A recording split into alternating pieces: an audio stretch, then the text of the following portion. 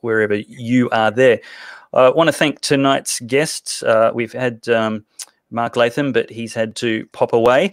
And uh, you can follow them on Twitter, where you'll find everything else you need to, the links about their other offerings. Uh, you've got John Anderson AO, Real Mark Latham, Tweet Corin B with a double R and one N, and Joe underscore Hildebrand. I have to spell it out for the podcast. Uh, but uh, that's it. So thank you very much for watching, and we'll see you in the comments section.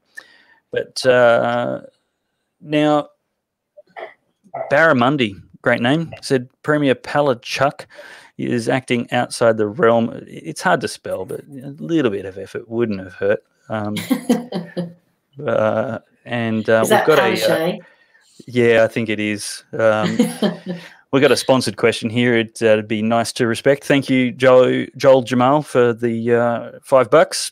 Question for John. And this looks like a great uh, segue into overtime. Um, feel free to not limit this to 60 seconds, John.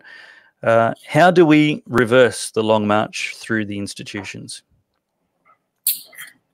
Uh, where to start? Um, in a way, I'm not sure you can reverse it. I think they've been right through the institutions and come out the other end. So maybe what we've got to do is start at the trail end somehow and uh, institute a march of reason, logic, and calm, other person centeredness, uh, humanity through the institutions uh, in a spirit of goodwill and genuine inquiry, all of which seem to have been missing. Um, it's worth noting, of course, that that march was quite intentional. And for a long time, I didn't use the, the term cultural Marxism. I sort of thought, oh, that's corny. And people say, oh, don't be silly, you're dreaming. There's no such thing. But I don't see why we shouldn't use it because, of course, you know, the people involved in um, cultural Marxism have called it that. Uh, from the Frankfurt School through uh, Gramsci and his followers. And the intention was quite clear. Um, the working classes weren't going to bring on the revolution quickly enough to overthrow capitalism and install communist nirvana. Uh, so we had to weaken the West to hasten the whole thing on. How do you weaken the West? Well, you march through the institutions and destroy them, break them up, the universities, the churches, you attack marriage, uh, you undermine confidence in parliaments and the judiciary. And boy, oh boy, that's where we've got to. But maybe the re-emergence of a highly visible sort of uh, uh, vision, I suppose you'd say, of, of communism in full full-throated um, authoritarian mode will cause a lot of people to rethink. I'm not sure I'd be too keen now getting up the university campus and openly identifying myself as a communist. I mean, I'm surprised there are any left anyway, but mm. there are. Uh, and I think, uh, uh, you know, people now will be asking a lot more questions. Yeah. Joe, uh, being a lefty, is yeah. the uh, long march through the institutions uh, necessarily bad thing from your perspective? Um, oh, yeah, definitely I'm definitely less of a lefty than I was. So I, I was a, a student socialist in the, the 90s at Melbourne University, and I foolish assumed, foolishly assumed once I'd sort of gotten over it that everyone did. And I was quite surprised um, to to learn, uh, really only in the last few years, that there was actually quite a pervasive sort of strain of of it still going on, and there was a, a seeming. I mean, I, am obviously deeply embarrassed. The more I obviously learn about um, what communism has actually done to the people it's ever gotten control of, um, I've been incredibly mortified to think that I'd sort of you know, I was I was I was a classic Chardonnay socialist, if you like, except I couldn't afford the Chardonnay. I was a beer swilling socialist, and you know, mostly I was just in it for the parties. But but I, I think there, there is there is a um, there's an understandable rebelliousness of youth, I think, and and, and it expresses itself in all different ways. Some kids um, do drugs, uh, join gangs, uh, become socialists, join ISIS. Um, it's I don't think it's any surprise that that when you have, especially young men, in the, the you know the, the, last sort of throes of um, hormonal adolescence that they they seek to rebel against whatever institution they were raised in. What's what surprised me are, a couple of things. One is um, uh, baby boomers and, and relics of uh, the 60s and 70s who still adhere to this, uh, uh, adults who should know better, who are still uh, gibbering on about it. And the other is, I suppose, um, the pervasiveness of social media. I get the sense, I don't know, but I, I get the sense there are actually a whole bunch of people not like me who um, actually didn't sort of go through the motions of student unionism or student activism or whatever it may be, who actually hear about these ideas for the first time via Twitter or Facebook and say, hey, why don't we just like, you know, have a universal wage for everybody? Or why don't we just make, you know, ex billionaire, be it Warren Buffett or Bill Gates or the ones you don't like, you know, just give away half their money and everyone will have it. And you, and you get these weird uh, confluences of, of far left and far right ideology, like the, the, the, one percenter movement is a, is a classic example. The Occupy Wall Street movement had outsiders on both sides of politics, overwhelmingly radical left, sure, but also um, plenty of people who were um, right wing enough, uh, so, so right wingers to oppose society altogether. I mean, there's not a huge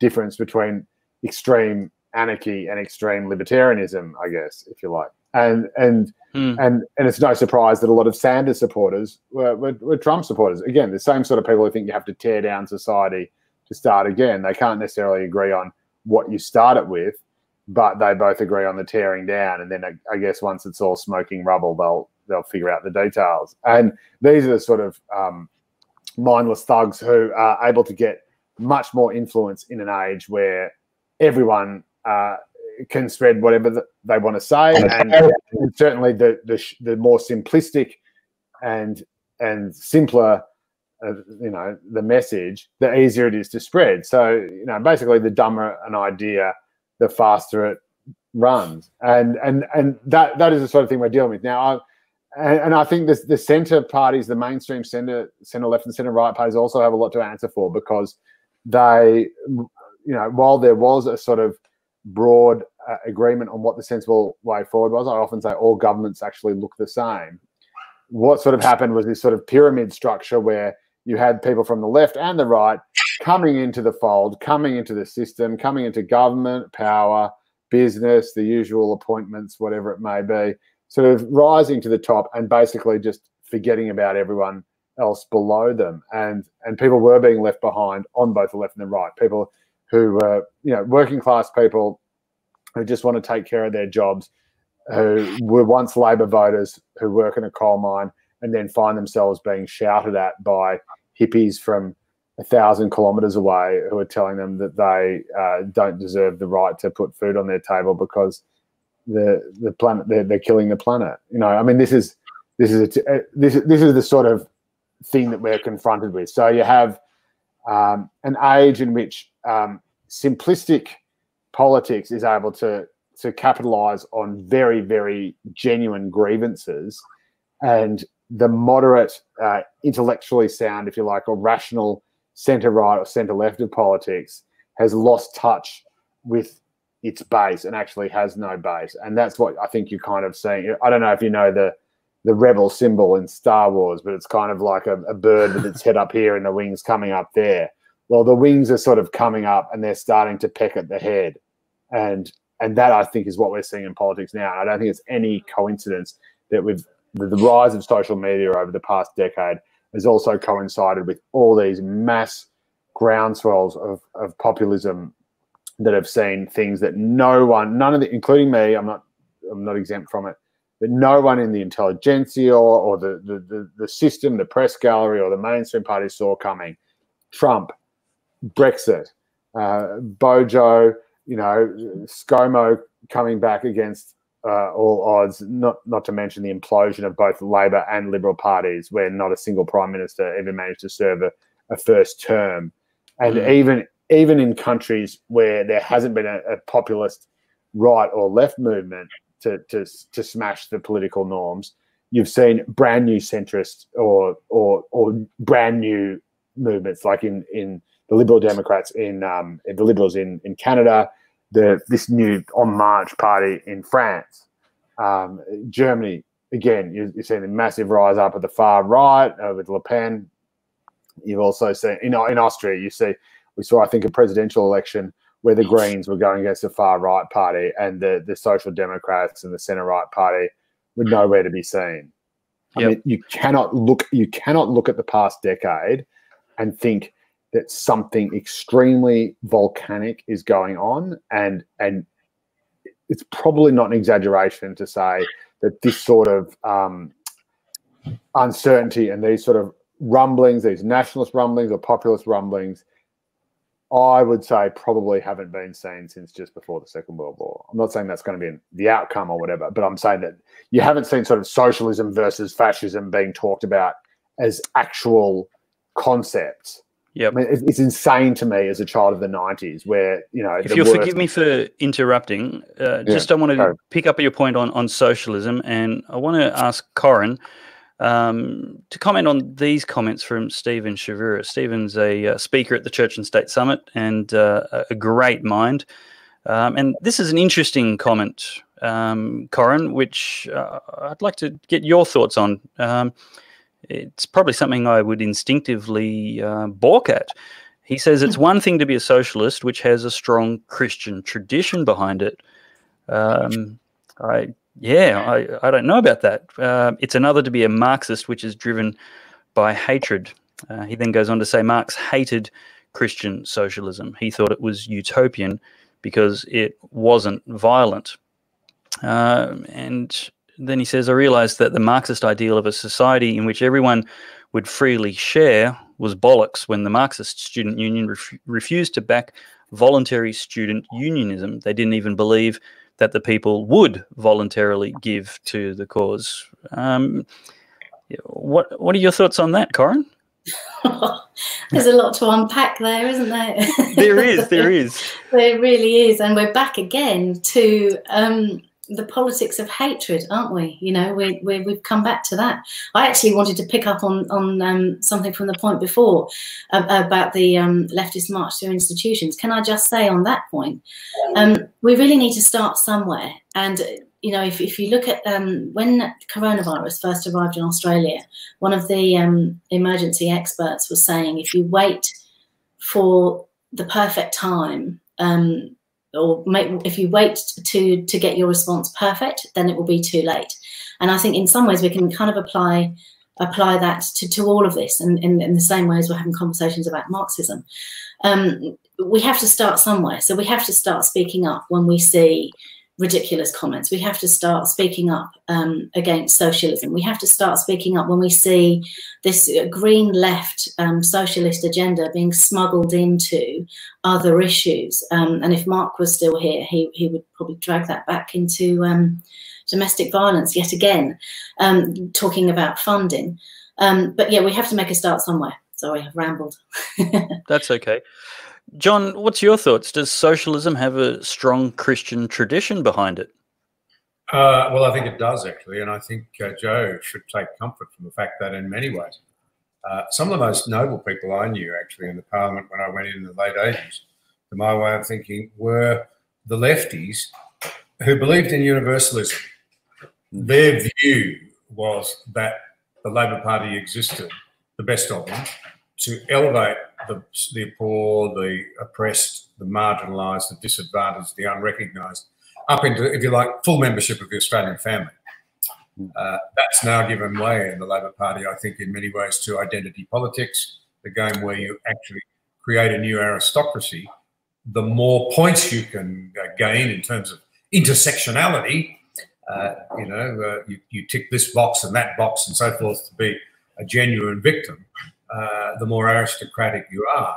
And so you now, instead of having this view that we ought to be, if you like, universally the, of the same family, we have a new class of aristocrats. Um, uh, so I would have disagreed with their solutions, but I would have seen their objectives as often, um, um, indeed, uh, quite uh, noble. It's it's worth remembering that um, uh, if I am correct in my memory, and I'm very, I know I'm pretty close to it. In 1891, the first time the Labor Party stood as a party, stood candidates as a party in the New South Wales Parliament, something like 32 or 33 members of the Labor Party were elected, uh, and over 20 of them were from um, evangelical churches, Presbyterians, Congregationalists, Baptists, Methodists. Uh, they were profoundly Christian, uh, and they were seeking a better way to address what they saw as an unequal and unfair society. But they were doing it. I think uh, uh, the, the, the comment was made that they're doing it out of love rather than being driven by ideas of class hatred. Now, there were many who strayed over into class hatred in the Labor Party, no doubt about that. Uh, and that was always a tragedy. But I think um, the, the distinction is well made. In fact, all three of the major political streams of thinking in the West had, to greater or lesser extents, Christian roots. You could even say, frankly, you probably say that of the perverted outcomes like communism. But the democratic socialists believed, I think, in a universalism. Uh, the classic liberals believed that government should be there only for the essentials, that a civic society would neither want nor tolerate big intrusive government. And conservatives believe that government, uh, well, the, the, most appealing thing about um, about the conservatives, I think, is that they're the one political creed where you find that it's the adherents believe that human nature never changes. And I think that's mm. very wise. Uh, an understanding of human uh, nature is critical for realistic policy outcomes. As one American put it, we're so good we had to give ourselves a vote. We're so bad we had to give ourselves a vote. So, uh, yeah. yeah, I do accept the very sharp distinction, if you like, between communism and other forms of authoritarianism uh, and the various Western traditions, including that sort of centre left universalistic socialism as opposed to the class warfare type of socialism. So my disagreements uh, with uh, the Labor Party as a young backbencher had more to do with um, what I thought were their, their, their, policy blindnesses in terms of achieving their objectives rather than the objectives. If that makes sense. Yes, uh, it absolutely makes sense, and and I think I'm a, um, a sort of uh, old school Irish Catholic kind of Labor guy. I'm very bad Catholic, probably the, the second worst Catholic in the country after Barnaby Joyce, and um, and, and, and and that is very much what I think. I think the key to um, I, I, did go through a year where I read nothing but books about Jesus, but um, the, the the key is Christianity and socialism are are indeed very similar. As long as they weren't written by Christopher Hitchens. No, they were not. They, they, they, were not. They're very, very, very interesting ones and and very thoughtful ones about the historical Jesus, and and I suppose you, you could be forgiven for calling Christianity something like voluntary socialism, and I think that is that is one of the the key differences. Uh, obviously, Christ said, "Render unto Caesar what is Caesar's, and render unto God what is God." But it's the it's the. You could also call socialism compulsory Christianity. Uh, in a, in a, in a sense, in a sense, you could, but I suppose it's not um, it's not Christianity if you don't really care, and that's the and that's the key the key message. You you give away the rich man gives away all his money because he is convinced that it's the right thing to do, and he knows that it can do more good for those he's giving it to. We are on the even, verge even of if there is a very, very deep philosophical, theological conversation. Philosophical territory. This is what I live for. This is why I had my second glass of wine. Um, very, and Jesus was also very fond of that too. Um, but, well, viewers, we're going to go into a third hour with just me and Joe. we're coming to now from 1 a.m. and uh, Eastern Standard Time. But the rich man, you know, maybe there is some self-interest there, and I've always believed in Paul Paul Keating's axiom that always back self-interest because the only horse you know is really trying. But um, the you know maybe the rich man gives away his money because he thinks it's the only way he'll pass through the eye of the needle and get to heaven.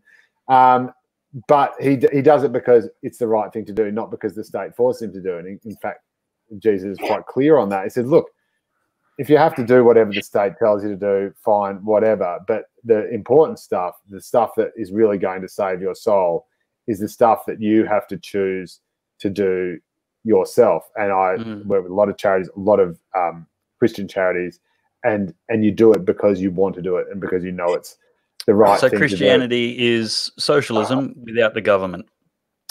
It, it, it is, and and it's, it's socialism in some ways without the organisation, but it's also um, socialism without the the reason why I love the Catholics is because they they look after you know the, the, wretched, the poor, the people who no one else cares about, and that, that's why I've always loved that particular church. It doesn't adhere to that sort of slightly nouveau uh, evangelical idea that you know whatever I've got, it's because God willed it and because He wants me to be successful or whatever it is. There's there's a, there's a lot of self-flagellation in Catholicism, which which actually appeals to me. That you know that we oh, are really? all sinners, we are all sorrowful, no matter how and that we should all feel guilty about whatever it is that we have.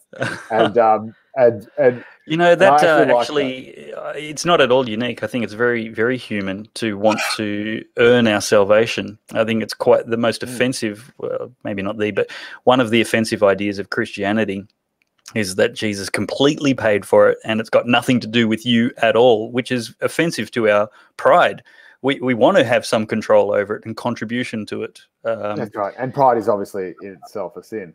But um, but yes, that's absolutely right. A good deed I, is, is good. I once uh, sat down with George Pell before any of the um, the, the, charges or, or, or claims uh, against him were, were known, and and he was so hardcore against this. He, he was absolutely convinced that no human being could ever do a good deed of their own accord. That all had to to that it all had to be done as a vessel of God. That he was so. I mean, this guy he's pretty hardcore, and you know that we're all sinners and we're such sinners. And because because the minute you do something good, you know that you're going to feel good about it, and that therefore ceases uh, ceases to make it an altruistic act. The, the, the fact that you feel any joy in doing a good deed um, immediately negates the fact that it's a good deed, and therefore that good deed itself belongs entirely to God, and you can't take any responsibility for it. That's how that's how yep. hardcore he was. But John um, Anderson, chip in. What do you think about what I had to say about uh, pride and salvation, etc.? You looked like you you you had something on the tip of your tongue. Uh, well, you see, I'm, I'm always struck by C.S. Lewis, who said, "Humility is a great virtue. Pursue it with all your heart."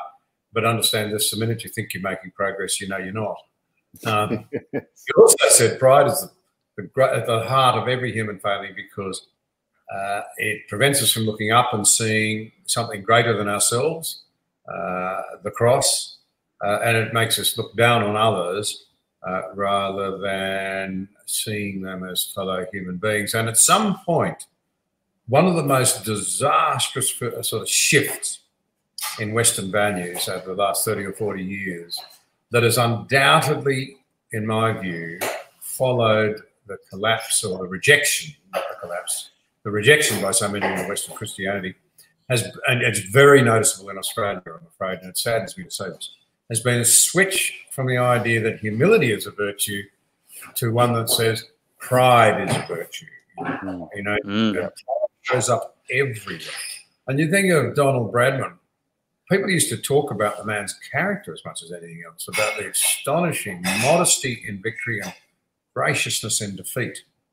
Um, uh, what what happened to that?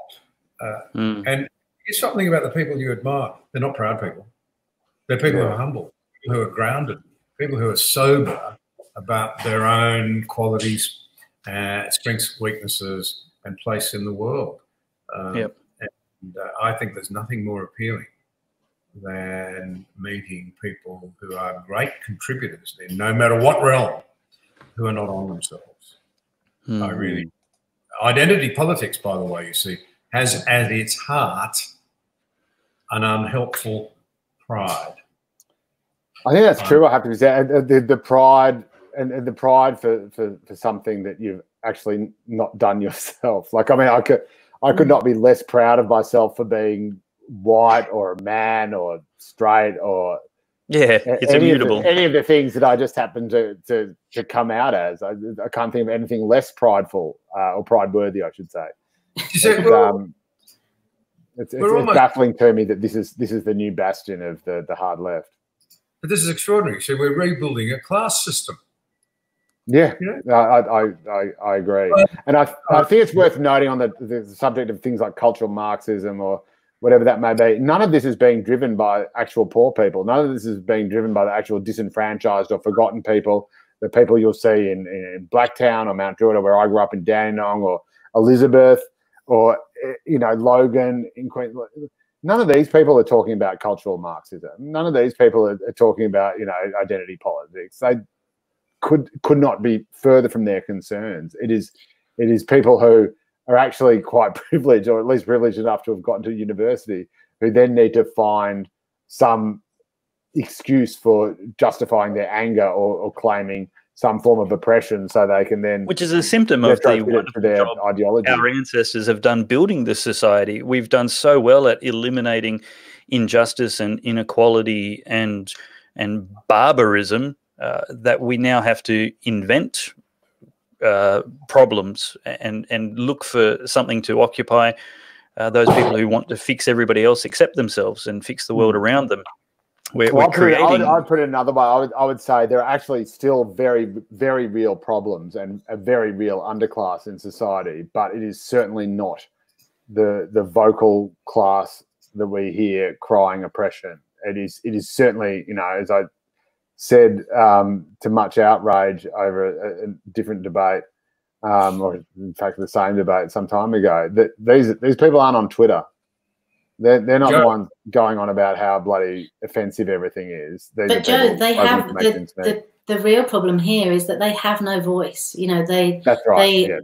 There, there is nobody speaking for them, and you're right. We are we've we've gone full circle, and now we're at the point where we are creating classes um, and we are creating new things to be aggrieved about. And hmm. again, mm. bringing it back to um, feminism, we, um, you know, we really see it there. They, they've run out of things to fight for, mm. and um, they've just become increasingly um, shrill now about less mm. and less. Um, and yeah. and I think that's that's identity politics in all of its forms is creating new problems. It's exactly what you were saying, Joe, earlier about outrage. You know, that mm. it's creating things for, for people to to worry about new new problems. We're in search of new problems. Mm. Well, the, dark, and the, the darkest irony is that um, we haven't actually run out of things to to fight for, but we're just not fighting for them. And so, you know, if you look at things like shutting down schools, that is going to screw up the most disadvantaged students, the poorest students. Uh, they're the ones who are going to slip through the cracks and get left behind. And yet, you have supposedly progressive Labor governments supporting the shutdown of schools and, and consigning these kids to oblivion. Just ask the Smith family. Yeah. Ask, ask, ask World Vision. Ask any anyone who works in this sector. And I, I you know, I, I, work with charities in this space. I ask the Ardoch Youth Foundation. You know, my mum works as an integration aide in one of the most disadvantaged schools in in the country. They know what's happening. They know that once these kids, it's hard enough to get them to school in the first place when schools are mm. up and mm. running and all hands are on deck you shut them down. It doesn't matter if you say, oh, no, it's all right. If you're really disadvantaged, you can still come. You think the neglectful parents say, oh, yeah, no, we're the disadvantaged ones, Mr. Premier. Yeah, yeah, we'll, we'll keep coming. I mean, honestly, how naive and stupid do you have to, and out of touch do you have to be to think that, that that's going to happen? That the, the one, the kids who are already on the slipperiest pole are going to be the ones who are still the last ones going to school after everyone else has left. I mean, that is for anyone who cares about education or poverty or disadvantage or child welfare, that that that is just the most horrendous, idiotic uh, position you can take. If, you, if mm. I mean, we've spent generations trying to make sure that the most disadvantaged kids go to school, and then in one fell swoop, because of the whims of a few panic merchants and and completely unqualified uh, political lever pullers, we just are, oh, we're just going to shut them down, even though there's no reason to. And so, what if we leave a generation of kids behind? I mean, that's what makes me yeah. sick, and that is that's what makes yeah. me. it's heartbreaking because ultimately, what we're doing is creating incredibly long-term problems. Um, and I think the the really heartbreaking and really sad thing is that people don't actually they don't realise they're so obsessed with with the here and now and the lockdowns and and you know the emergency of and and this whole culture of alarmism um, but we're creating problems that we're going to be stuck with on many, many fronts for a very, very long time. And you're absolutely right. Le leaving children behind, that's, that's long-term consequences we're talking about. I think one of the big injustices that's entrenched in our systems and, and legislations, and and and it actually completely uh, invalidates my claim before that we've sold everything. Uh, we we've actually started destroying our culture with uh, our failure to promote marriage and family, specifically uh, empowered motherhood. Uh, we now fund the destruction of our children instead of the empowerment of our mothers. Uh, we instead of solving the problems which are, are causing uh, fear and pressure, anxiety, and a perception that there's only one choice, instead of solving those things, we throw all our money at just killing them. And I, I think uh, I think it, it's the greatest blight on our time. The single biggest thing I want to see changed in my generation, and it won't take an election cycle, it'll take a generation, is to uh, abolish pro abortion candidates like we abolished pro slavery candidates from parliament. It's just reprehensible. Like we're, we're talking about uh, euthanasia legislation in Queensland at the moment. At the other end of the spectrum, um, devaluing the sanctity of human life. Uh, and all it really takes to solve the suffering problem, because it's not a life problem, taking the life isn't going to take the problem away. It's just going to end everything. Death isn't therapy. But um, we're seeing in, in, today's news, I saw fantastic suggestions that uh, 100 million, less than 200 million dollars, could be spent on palliative care funding. Well, this is exactly where we should be doing. There's so many solutions we could be providing instead of taking taking the, the cheap um, morally violated way out as a society. And I think that's a damnation on us. And you know what? Forget the government solutions. Quite often it's just coming down to us. What are we doing to help a woman who's you know considering adoption or abortion because she feels she can't be a parent right now? Yeah. I, I, I, you're chucking, in, chucking in euthanasia and abortion. I, I, would not agree with that. I do have concerns about euthanasia. Um, because I think there would inevitably be social and economic pressure on selfless older people to to want to um, to say, "Oh, don't worry about it, darling. I'll just slip off." Um, and I also um, uh, find it ironic that there's a lot of pro euthanasia people who also say that we must save 95 year old lives at all costs, no matter how much yes. it destroys the rest of the um, society. But mm. um, but but look at, on on your first point, I would just say um, I'm also very pro marriage. I'm pro same sex marriage as well, and I, I, think marriage is fantastic. And I think anyone who can be a part of it and raise kids in a loving environment uh, should be encouraged to do so. And so, um, you know, you say pro motherhood. I, I, certainly agree, but I would say pro fatherhood as well. I think fathers should be absolutely uh, more involved in their kids' lives than perhaps has traditionally been the case in the past. And I'm, I'm certainly trying to be. And um, and I, I think everything should be uh, focused around the child. I think we certainly agree on that, and that that's another reason why I've been very very passionate about um, schools reopening and and and kids well-being being at the center of that. I've heard a lot of talk, a lot of talk about how safe kids are, how safe schools are for everyone except the the children who go to them, who they're meant to be for. That's all I'll say about that. Just on that, Joe, just don't you think it really underlines the elitism again? People who were saying that giving disadvantaged children technology, um, giving them devices, um, that was going to be an answer, uh, uh, like a solution to schools being um, schools being closed, yeah. as if as if that's the magic the magic wand to wave over it. There, there's so much more um, to the lived experience of, of living in poverty yeah. than being given a device as if that magic and, and, some data. You know, I, I just find that so incredibly offensive. Yeah, I'd say two things. I'd say, yeah, absolutely. I'd say certainly um, online teaching is no substitute for face to face teaching. Absolutely not. And if you don't believe that, we'll just have an online relationship instead of having a face to face one. See how much you love your mm. girlfriend or boyfriend then.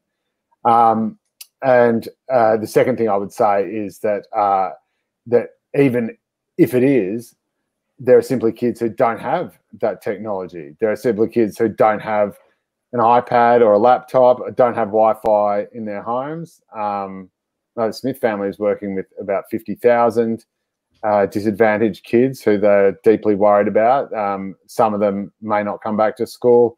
Uh, many of them will, but won't catch up because they haven't had the same intensive learning at home that uh, middle class and upper middle class um, families have had, or, or families where one parent can afford not to work and, and concentrate entirely on homeschool or whatever Jane Caro calls it. Um, and, um, and, and, and that is that is absolutely right. I know Father Bob, uh, another uh, rogue Catholic friend of mine, is desperately scrambling to get poor kids. Um, now he's a lefty. I'd love to get on the show. He would. He's, be... a, he's, a, he's, a, a, bit, he's bit too like busy me. doing the a, project. He's a bit of a rogue unit. Um, he's Maverick quite, lefties. I love him. Fit the mold. but um, again, anyone who works in this space, and there have been countless studies I can I can point you to them um, done even even in the wake of I think there's at least I think four or five I can think of off the, off the top of my head, which have been uh, hurriedly conducted since the pandemic began about children falling behind. So these are not just hypotheticals. This is actually um, people uh, calculating the cost on the run. Um, it just shows that the, the poorest kids are the hardest hurt. And for the love of me, I cannot figure out why anyone who calls themselves progressive or calls themselves left wouldn't be focused most on the poor, most on the children. I mean, that is, if there's any such sure. thing as Christian socialism, surely it's that. John, I want to bring you into the conversation here because uh, comments have blown up with our uh, gracious lefty joining us and and uh, voicing a support for the undefinition of marriage. I, I won't call it anything else. Um, but uh, would you would you care to, uh, I guess, summarize or, or represent a a um, efficient rebuttal uh, for for Joe to consider perhaps how he may have misthought this with, without reliving the uh, two year old um, plebiscite. Uh, I am deeply troubled by the idea that we should take it upon ourselves to determine that some children have their mother and father, their biological mother and father, and others don't. I, am sorry, I just I just think that I don't, I don't see how you reconcile what we know now from the science about the way in which children relate to their mother and their father as an ideal. It can't always happen. It doesn't mm-hmm. always happen. But I do not see how you can move it away from move away from it as an ideal. And we know now of the extraordinary importance of fathers. We know from the research to children. We know. I mean, you can't get away from it. You just cannot get away from it.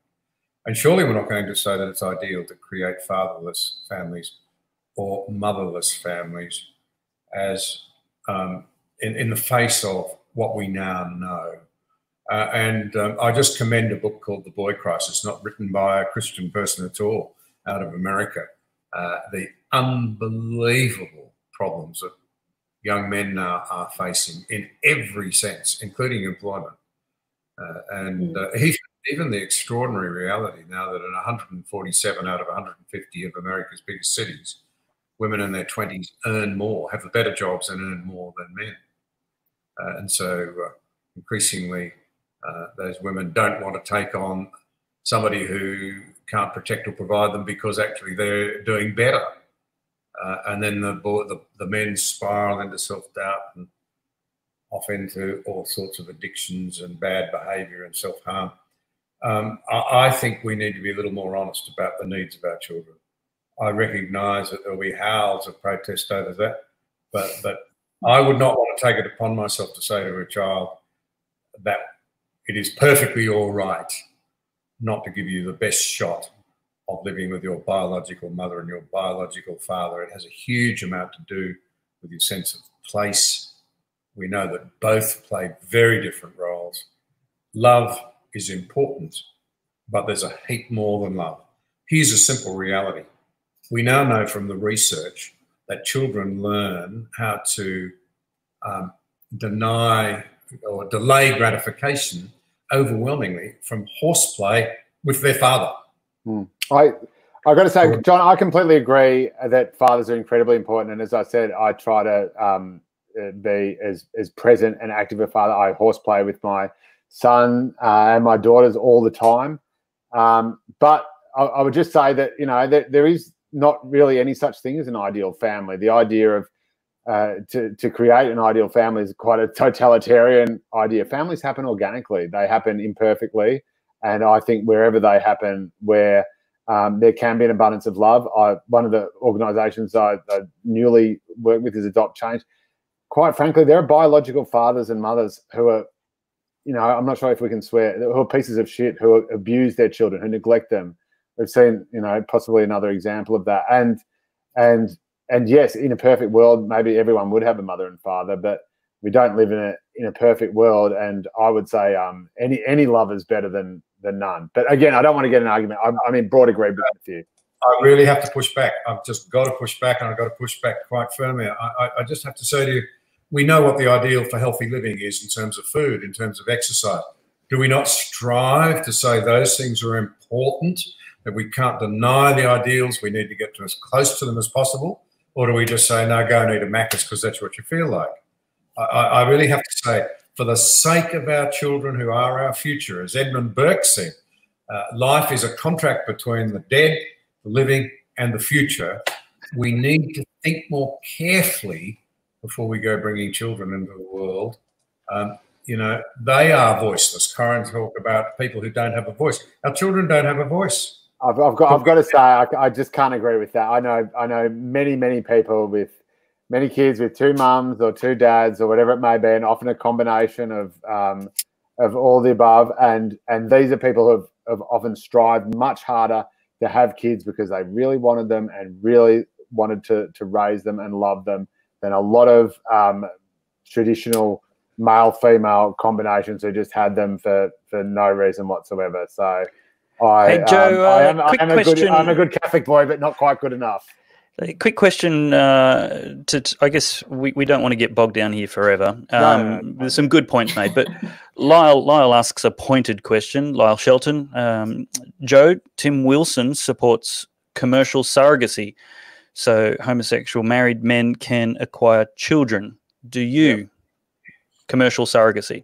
Uh, if I, I, think if any child, I'm I'm a little bit uncomfortable with commercial surrogacy um, for obvious reasons, and um, I don't think it's actually technically legal in Australia yet. I'd have to check, but I I believe that it has to be voluntary. But I, I understand one of our federal MPs uh, wants it to be. The, the, people circumvent that anyway. Well, yeah, I, th- I think already it sort of happens where they you know, bestow certain privileges on a person, and it's not technically a, a transaction. But look, mm. again, having um, having dealt with uh, having having looked into, shall we say, I won't get too far into it, but having look looked into this could be a lot issues around child welfare, child disadvantage, um, children living in the, the most appalling circumstances in this country and overseas. Any uh, my, my my preference would be for adoption. My preference would always be for taking a child who is in harm's way, who is living with parents who cannot or will not take care of them and sometimes actively harm them. My preference would always be for taking that child and giving them a loving family, be that gay, straight, purple people eater, whatever. I don't really care. The child must come first. And I think there should be some consistency there. If you really care about children, you want them to be loved. You shouldn't be preoccupied with who's loving them. And um, and and so that would be, always be my preference.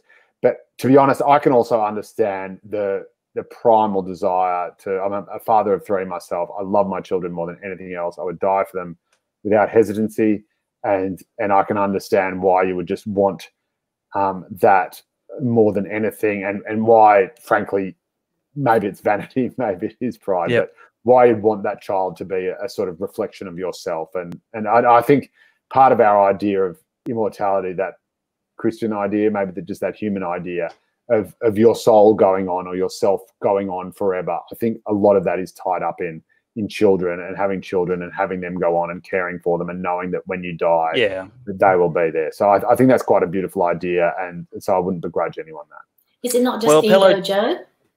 Sorry. Is that not just ego? Yeah, probably. But uh, human human beings are, are egotistical people. Um, I mean, we we all, you know, we're all sinners, as the good books. yeah.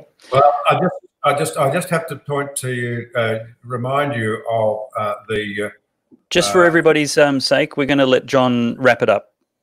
The anonymous uh, uh, sperm donor children, forgotten what their title was, in the Senate inquiry a few years ago, expressing deep dismay that they didn't know who their father was, had no contact with him, therefore felt that a great part of themselves was missing.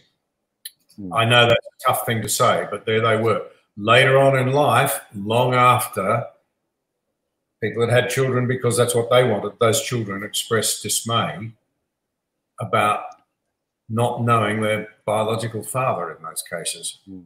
I mm. just think be Well, I, I, have very deep reservations about this, and I, I cannot buy this argument that we hear all the time that because there are children living in bad circumstances, that's a justification for a different form of family. I think the that is a justification for saying we need to again hold up the ideal and encourage people to move as close to it as possible for the sake of our children.